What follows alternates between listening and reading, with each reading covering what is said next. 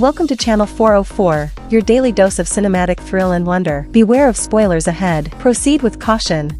Kai sat on the couch, drawing intently. He had just finished sketching an apple. Suddenly, there was a noise from the wardrobe. Confused, Kai walked over and opened the wardrobe. To his surprise, he found an apple inside. What's going on? He wondered. Did my drawing just become real? Gotta test this out. Kai quickly drew a hundred dollar bill.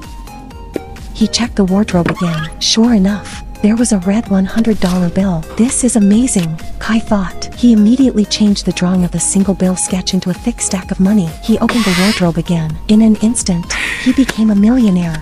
Kai's mouth curled up in a wild grin. Is this a dream? He wondered. If it is, let's go big. He started drawing like mad, sketching a super attractive figure. He was thinking, with all this cash, why not a gorgeous girlfriend? But, while he was halfway through the drawing, the doorbell rang. It was a delivery. When Kai got back in, the wardrobe made a noise again. Oh no, he freaked out. What have I done? Is there still time to sketch her ahead?